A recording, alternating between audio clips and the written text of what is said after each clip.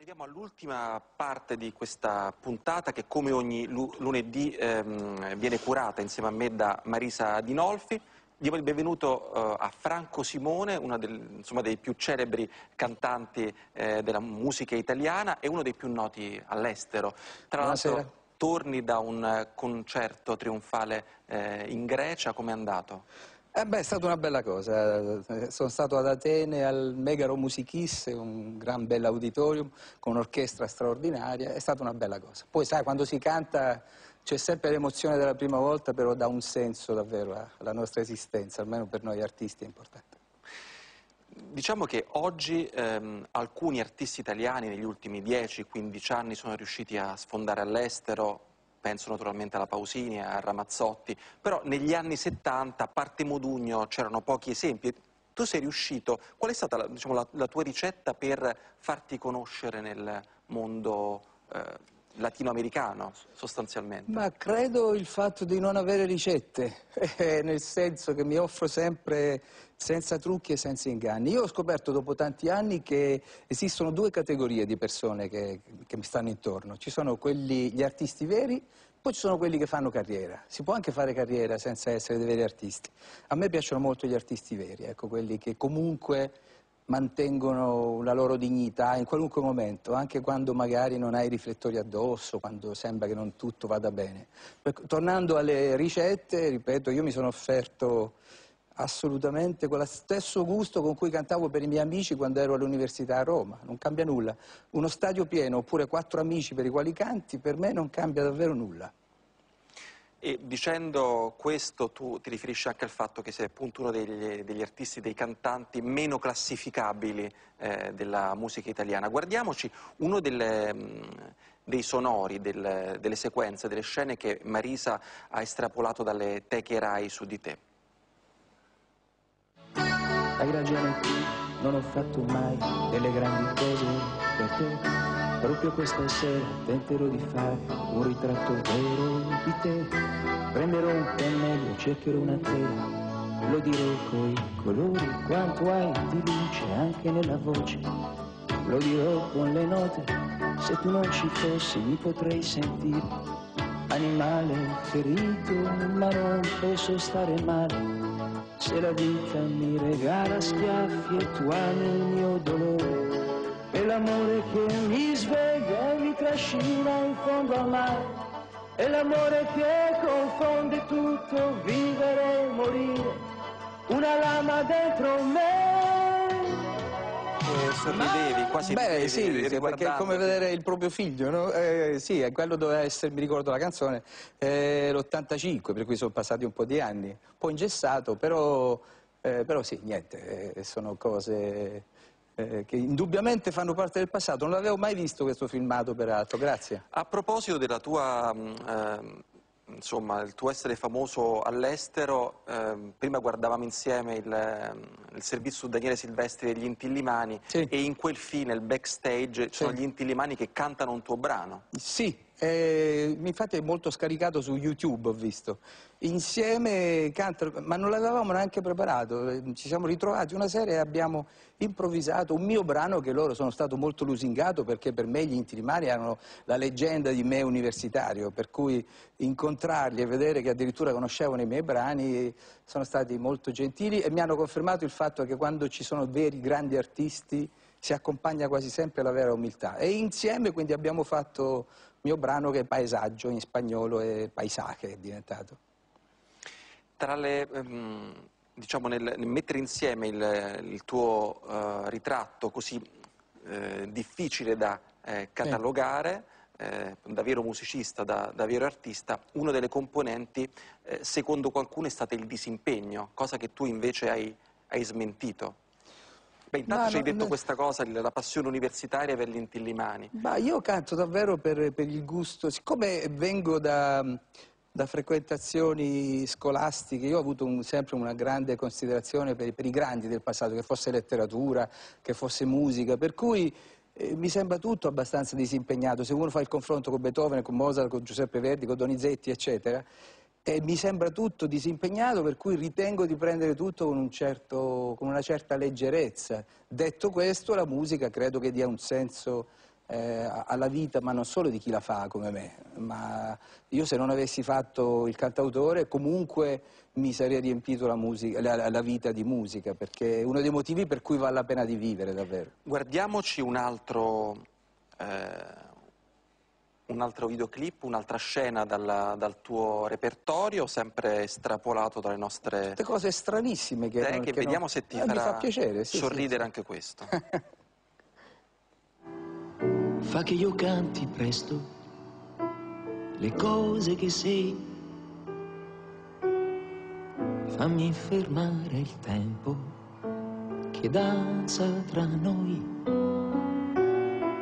Lascia che sia respiro finché tu ci sei. Il mio saluto al giorno per non lasciarsi andare mai.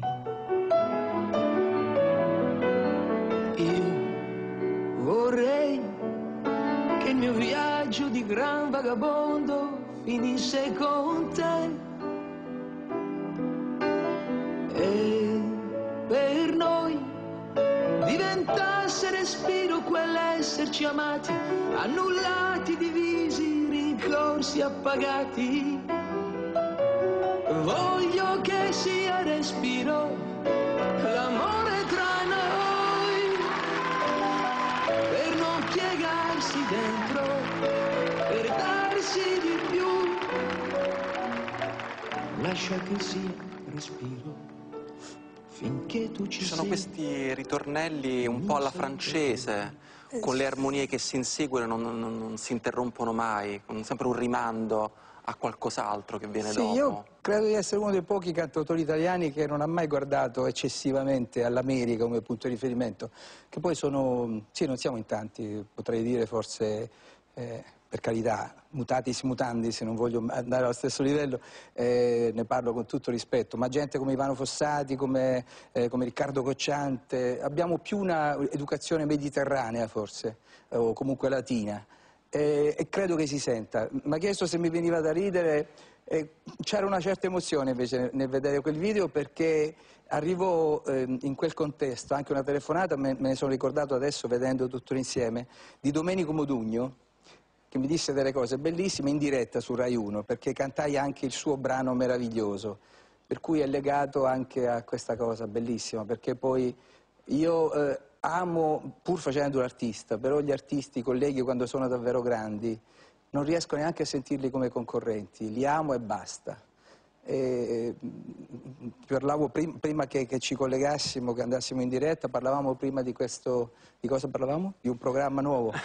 che c'è sì, una... sì. siamo qui anche per parlare di, del tuo ennesimo grande ritorno. Stavolta ci rubi un po' il mestiere e farai no. il conduttore di un talk show su Sky, Music Life, credo sia il sì, canale. Sì. canale 856 si chiama Music Life, appunto è un canale musicale per cui Tra l'altro ogni mercoledì alle 20.30, lo stesso orario 21.30, lo stesso orario in cui andiamo in onda mercoledì. noi. Allora, casomai concorrente... andate un po' di là e poi tornate di qua. Ho visto che parlano ultimamente di, di sinergie, di, no? di passare da un, da, da, un, canale all'altro. Sì, è un, un programma che ha per titolo Dizionario dei sentimenti, in cui mi fa piacere perché potrò finalmente davvero eh, dare sfogo a, a, a, tutta la grande passione che ho, a esprimere tutte le, le, grandi cose che mi vengono in mente quando parlo della musica, quindi ospitare anche colleghi eh, che amo, eh, per esempio dopodomani ci sarà Mariella Nava che è una grande realtà italiana e poi ci sarà Enzo Gragnaniello e poi tanti altri, ma non solo cantanti, ci verranno anche operatori, un giorno magari se non coincidono le cose potresti pure venire tu, parliamo di eh, perché la musica ha senso, perché rende bella la vita, ecco. eh, perché molto spesso mi pare che, che ci, sia, eh, ci, siano molte prevenzioni, molti luoghi comuni sulla musica, per esempio chi ascolta il rock non, non, sembra che non debba ascoltare le belle ballate italiane, io credo di avere nei miei, nei, nei miei ascolti, passo da da Giovanotti a Mozart con grande naturalezza e credo che la musica dovrebbe essere questo. Vediamoci un'altra teca su eh, Franco Simone.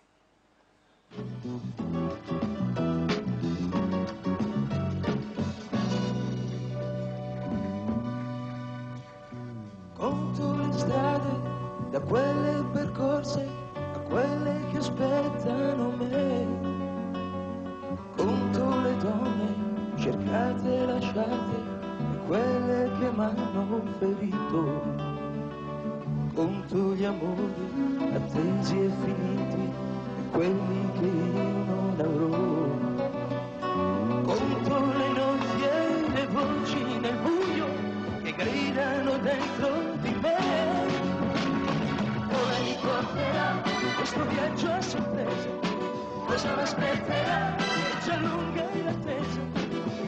qualcosa che sembri almeno qualcosa, cosa, cosa, cosa, cosa, ora mi porterà questo viaggio a sorpresa, cosa mi aspetterà, ci allunga l'attesa, voglio qualcosa che sembri almeno qualcosa, cosa... Ti ha fatto vedere in mente invece questo Allora mi film? fa venire in mente che intanto eh, fa parte, non so dove abbiate trovato questi video che non ho mai visto. Lì dietro intanto c'era anche mia moglie nella zona coro, poi non ha voluto cantare perché- per, quanto io l'abbia pregata spesso, ma proprio no. Dice che basto io in famiglia.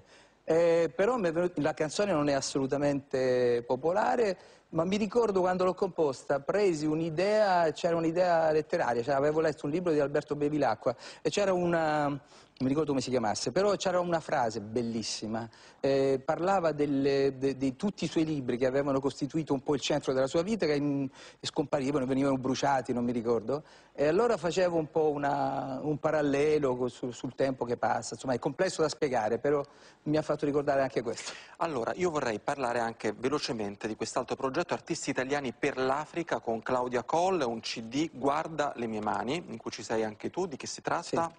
Eh, si tratta intanto Claudia Coll mi ha chiamato, mi ha chiesto, lavoriamo insieme perché facciamo i docenti, lei di recitazione, io di canto presso la, la Star Rose Academy, eh, Accademia per Nuovi Talenti, e mi ha chiesto un giorno di darle una mano eh, per eh, chiamare appunto a raccolta un po' di artisti disponibili a dare un brano eh, per costruire, i proventi serviranno davvero per costruire un, un- un ospedale autentico, bellissimo, ho visto il disegno e le prime fotografie, in Burundi.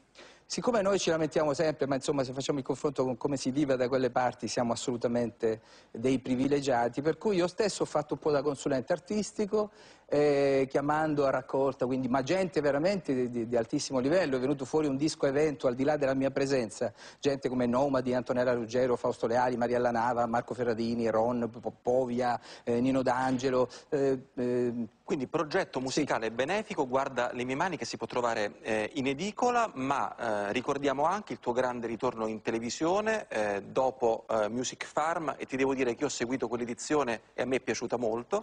ti ringrazio, Ehm, eh, è piaciuta la mia presenza o il programma in sé? in generale, ma anche la tua, la tua presenza, sentirvi A me cantare. è piaciuto cantare, edizione. il resto eh, Ma anche sorvolerei. anche Dolcenera qualche giorno fa eh, ha detto a Scalo 76 che è rimasta traumatizzata da quell'esperienza. Sì, ha Dobbiamo... detto anche che doveva andare. No, no, niente, anzi, pre- preferisco. Va bene. Chiudiamo la parentesi. parliamo la prossima volta quando mi Sì, inviterai parliamo- Se no, torno alla categoria iniziale quando ti ho detto all'inizio quello che penso. Sì, sì. Allora, eh, diamo l'appuntamento Music Live su Sky ogni mercoledì. Franco Simone, grande ritorno. Ti Grazie. ringrazio. Tu sei sempre così buono o per l'occasione? Non so, perché sei straordinario. Grazie. Grazie a te davvero. Allora, Grazie a voi. presto. e Ciao.